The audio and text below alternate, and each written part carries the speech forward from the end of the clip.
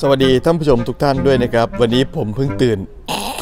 เฮ้ยหลายคนอาจจะทราบกันดีนะครับว่าผมซื้อรถเล็กมาทำช่อง นั่นก็คือ Sonic เครื่อง 250cc ช่วงนี้นี่ยูทูบเบอร์หลายๆ ท่านคิดคอนเทนต์ไม่ออกกัน ก็จะซื้อรถเล็กแล้วเอามาแต่งนู่นแต่งนี่ เยอะแยะเต็มไปหมดเลย หนึ่งในนั้นก็คือผมเองนะครับ เดี๋ยวไปดูรายละเอียดชัดๆกันเลยดีกว่าตรงนี้รู้สึกว่า มอเตอร์ส่งมอเตอร์ไซค์นี่มันเยอะชิบหายเลยพื้นที่ในการถ่ายทำก็น้อย เดี๋ยวเราย้ายไปในป่าพนมพงไพรเท่านั้นดีกว่า ดูความยากลำบากครับท่านผู้ชม ด้วยความที่รถผมมันเสียงดังมากผมต้องเข็นมาสตาร์ทที่หน้าหอ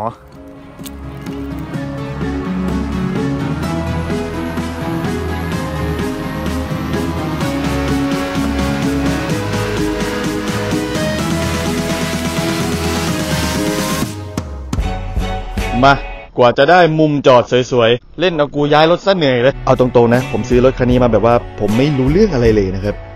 เดี๋ยวเราจะมาดูกันแบบคร่าวๆแล้วกันเดี๋ยวผมจะพูดเท่าที่ผมพูดได้แล้วกันนะ เพราะบางสิ่งบางอย่างผมก็ไม่รู้เรื่อง ซื้อเพราะอยากได้แล้วก็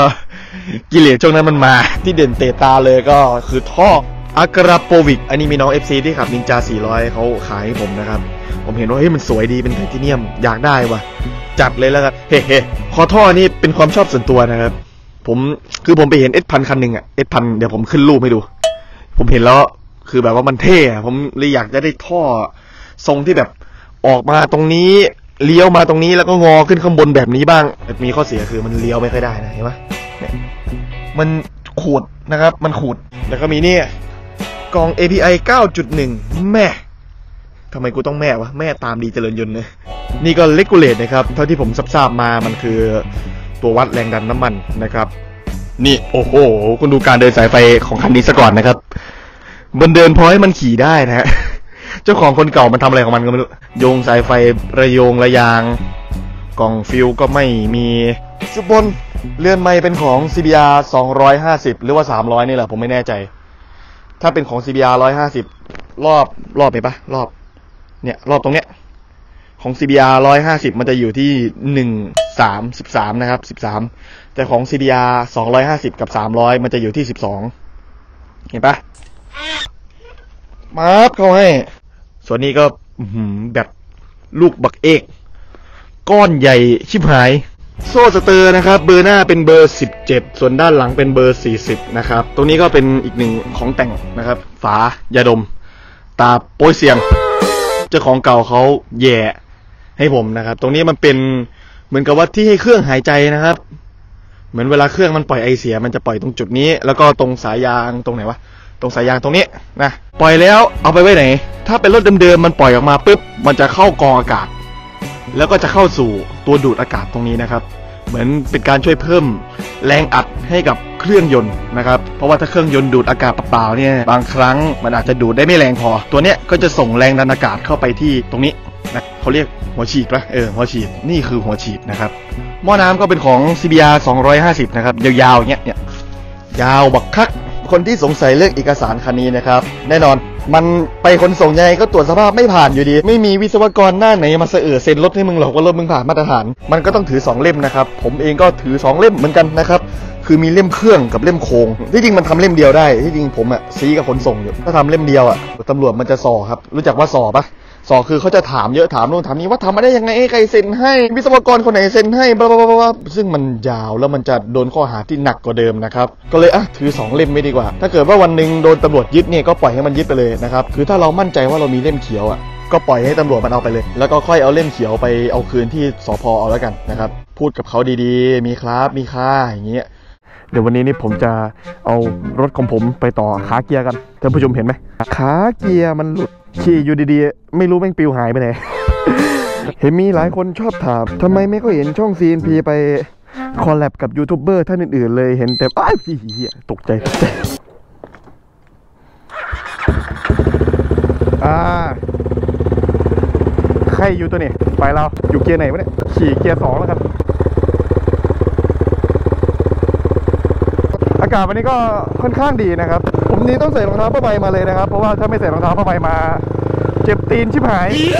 โอ้ไม่ทันไปเขียวอะ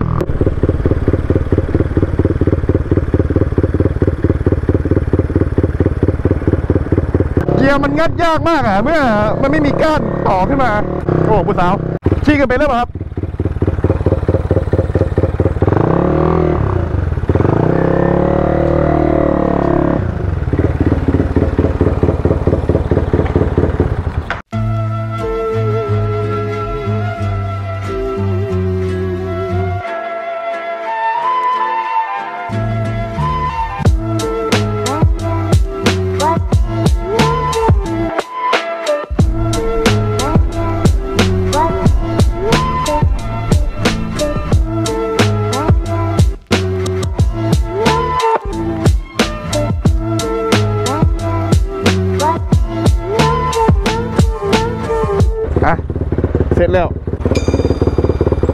แล้วเว้ยเดี๋ยวเราจะไปซิ่งกัน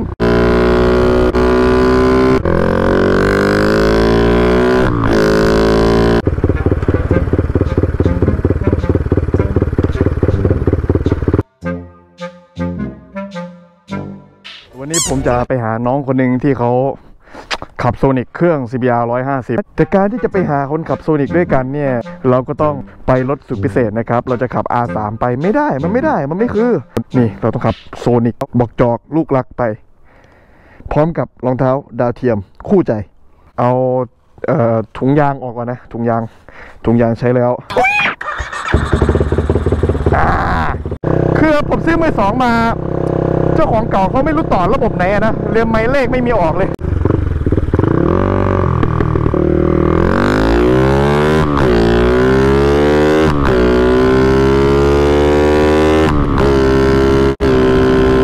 ชิบหาย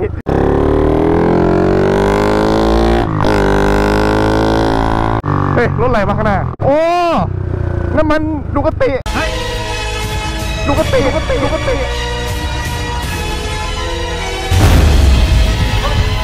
ดูกติดูกติดูกติโอ้โอ้ว้าวว้าวว้าวว้าวโอ้ยควันฝุ่นเข้าตากูเต็มเต็มไปคุยแป๊บ เอรถสวยมากครับพี่ รถสวยมากครับ ผมชอบมากเลย8484นี้ตำนานมากพี่น้อยนะไม่ให้มีอะครับ ผมเพิ่งเคยเจอนี่แหละ8484เขาเรียกสี S2R ใช่ไหมพี่เขาเรียกสี S2R ใช่ไหมพี่ ไม่รู้อะไรครับ สีสวยมาก ที่จริงผมจะเลี้ยวนะฮะผมจอดไปคุยกับพี่แกเฉย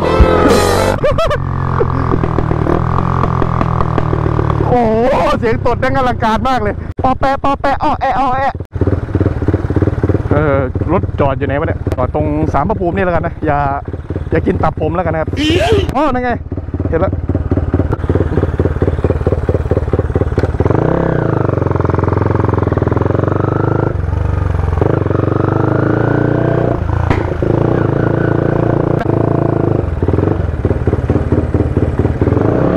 โอ้ ดังดังดังดังดังแต่ยัดหน้าปากซอยอ่าตอนนี้เราก็อยู่กับรถของน้องมาร์คนะครับ ผมก็ไปขโมยรถน้องมาร์คมาขี่ เป็นระยะเวลาหนึ่งชั่วโมงกว่าแล้ว ไม่เอาไปคืนสักที ว่าไงรถกระบะสวัสดี สวัสดีครับ อ่า เขาไม่คุยกับผม รถน้องมาร์กนี่เป็นโซนิกวางเครื่อง CBR 150 นะครับ ส่วนช่วงล่างเป็นของ CBR 150 ยางหน้าหลังนั้นเป็นเบอร์ 110 ทั้งสองยางหน้า 110 ยางหลัง 110 ถ้าใส่เป็นช่วงล่างของ CBR 300 มันจะดูบึกบึนกว่านี้นะ แต่ก็แน่นอนละน้ำหนักก็จะเพิ่มตามมา นี่คือการตกแต่งโดยรอบนะครับการตกแต่งโดยรอบ มีอะไรบ้างผมก็ไม่รู้รายละเอียดเหมือนกันนะ ผมไม่แน่ใจ แต่ที่เท่คือเนี่ยเห็นปะผมชอบชอบนะโซนิกเวลาที่ทำท้ายแหลมๆอย่างเงี้ย คือโซนิกมันออกแบบรถมาตูดแหลมๆอยู่แล้วใช่ปะถ้าใส่บังโคลนมันจะดูแปลกๆไงก็ไม่รู้ ถ้าผมมีวาสนานะ ผมก็จะทำโซนิกตูดแหลมอย่างนี้นะครับปะเดี๋ยวเราไปลองแว้นกันเลยดีกว่าเทเสียงเทซาวนะฮะอ่าสวัสดีจ้าว่าไง เสียงก็จะค่อนข้างเงียบนิดหนึ่งนะครับ เพราะว่ามี silencer อยู่นั่นเอง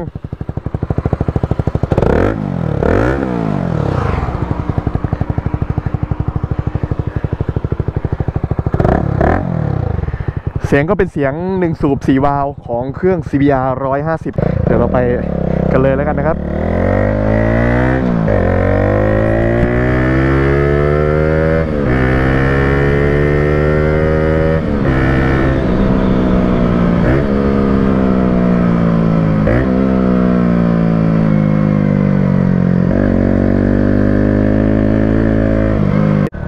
คือผมจะบอกอย่างเงี้ยช่วงล่าง ด้วยความที่ล้อมันใหญ่ขึ้น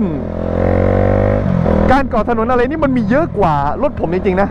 จะสังเกตว่าไอ้โซนิกของผมเนี่ย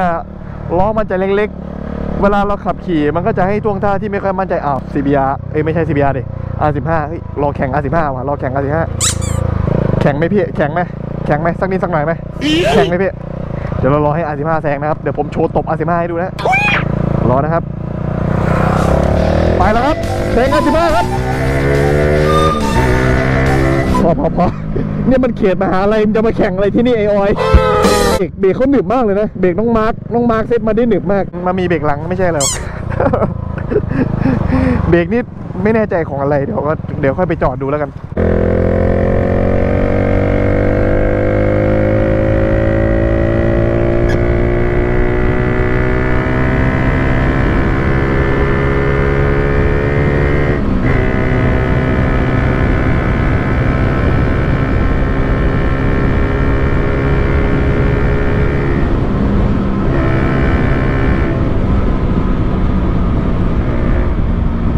ไม่รู้ว่าขี่แรงเกินไป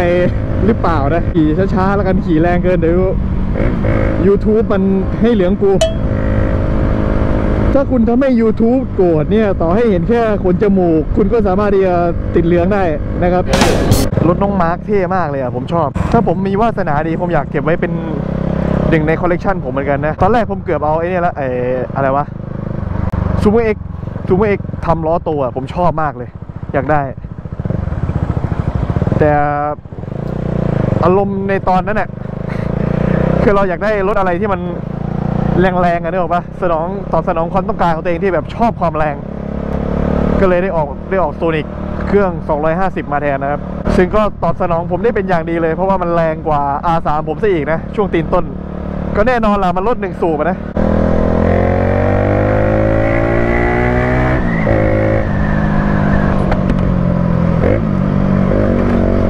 โอ้เมื่อ กี้ผมลองขี่ดดใส่เนินหลายๆเนินดูแล้วนะก็นิ่มนะนิ่มนะก็แง่ละเพราะช่วงล่างของเขานี่เป็นของ CBR 150 มันก็ต้องนิ่มอยู่แล้ว เพราะ CBR 150 เขาเซ็ตโชคออกมาได้แบบสีดยูทมาก ลองพอหอมปากหอมคอนะฮะผู้สาวผู้สาว มองหน้าทำไมจ้าผู้สาว อยากซ้อนท้ายโซนิกพี่ไหมจ๊ะคงไม่อะนะ อารมณ์โซนิกล้อโตๆอย่างเงี้ยผมนึกถึงยามาฮ่ารุ่น e x c e t e r ที่เขาทำตลาดในไทย อะ Exciter นี่ก็แบบมาแนว crossover เลย รถสปอร์ตผสมรถกระเทยอ่าคนถ่ายรูปกันเราจะช้าหน่อยยิ้มจ้า ยิ้มจ้าไม่ใช่ไม่ใช่ เราไม่เกี่ยวนะครับ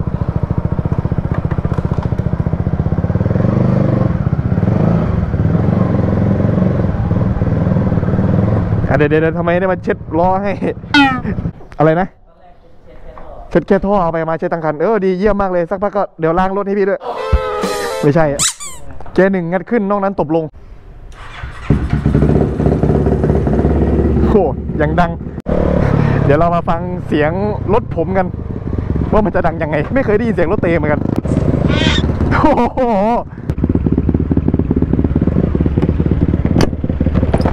ไอไปไปหอพี่ก่อน เดี๋ยวขึ้นสะพานนี้ไป เมื่อกี้ต้องมายกรอนะเราไม่เอาดีกว่าเดี๋ยวติดเรือาวนินจา400แซงว่ะอ้าวโอ้เบรกเบรกเบรกเบรก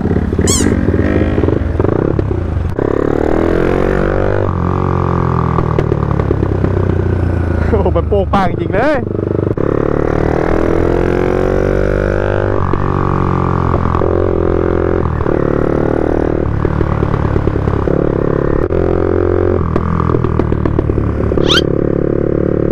โอ้เข้าไม่ทันวะว่าจะเลี้ยวเข้าเข้าไม่ทัน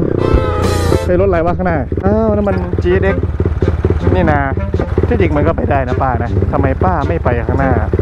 ผมเราไม่เข้าใจจริง ๆ เลย เรียกว่าป้าเตรียมตัวรับมือกับกฎหมายบิ๊กไบค์ใหม่ที่เขาห้ามมุกห้ามแทรกตาอย่างนึงเอาคันนี้เป็นไรเนี่ยมาจอดอะไรตรงนี้เนี่ยโอ้อะไรวะแข่งกับ GX ดีกว่ามา GX มามาจีเด็กมา